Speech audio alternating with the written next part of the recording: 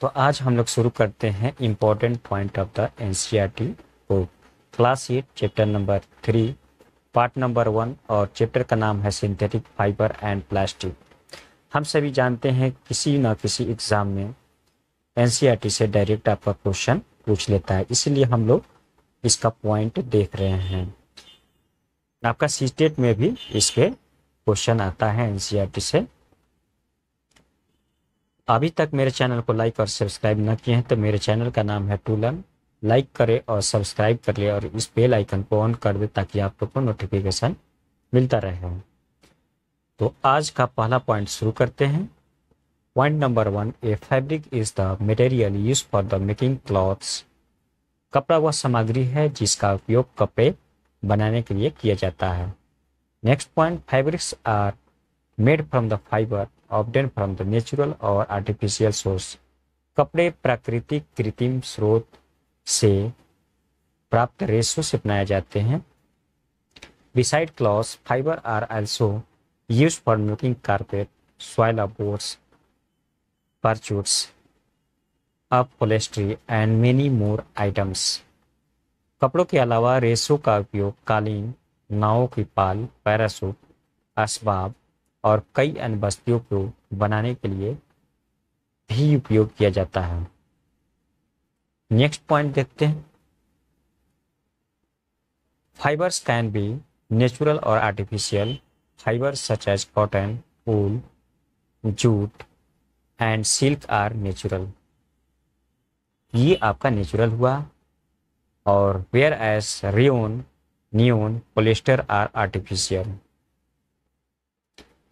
Fibre प्राकृतिक या कृत्रिम हो सकते हैं। कपास, ऊन, जूट और रेशम जैसे रेशे प्राकृतिक रेशे हैं, जबकि रेन नायलोन, प्लास्टिक कृत्रिम है, जिसको मैनमेड बोलते हैं। The manmade fibres produce from the chemical substance are call synthetic fibre रासायनिक पदार्थों से निर्मित, मानव निर्मित रेसे सिंथेटिक फाइबर कहलाते हैं। नेक्स्ट पॉइंट देखते हैं। Synthetic fibers are also known as man-made fibers or artificial fiber.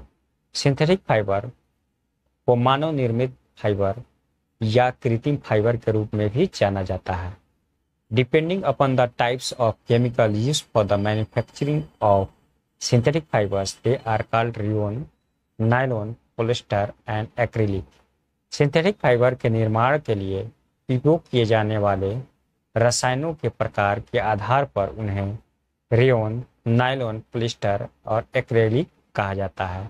Next point देखते हैं। रियोन और artificial silk is made up from cellulose obtain from wood pulp rayon या कृत्रिम रेशम लकड़ी के गुद्दे से प्राप्त सेलुलोज से बनाया जाता है। It can be dyed in the wide variety of colour colours रंगों की एक विस्तृत विविधता में रंगा जाता है।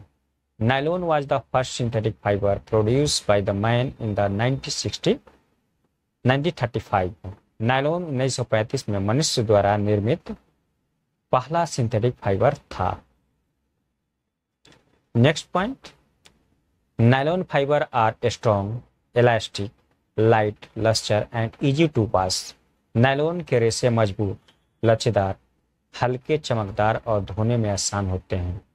It is use to make many items like shop ropes tent toothbrush car seats belt curtains इसका उपयोग मोजे, रस्सी, तंबू टूथब्रश कार सीट बेल्ट पर्दे इत्यादि जैसे कई वस्तुओं को बनाने के लिए किया जाता है। तो आज के लिए इतना ही। अब हम लोग नेक्स्ट वीडियो में इसका नेक्स्ट पार्ट देखेंगे। तो अभी तक मेरे चैनल को लाइक और सब्सक्राइब ना किए हैं तो मेरे चैनल का नाम है टूलर लाइक करें और इस बेल आइकन को ऑन कर दें ताकि आप लोग को नोटिफिकेशन मिलता रहे। जैसे मैं अगला वीडियो डालूँ। तो आज के लिए इतना ही। आप सबको धन्यवाद।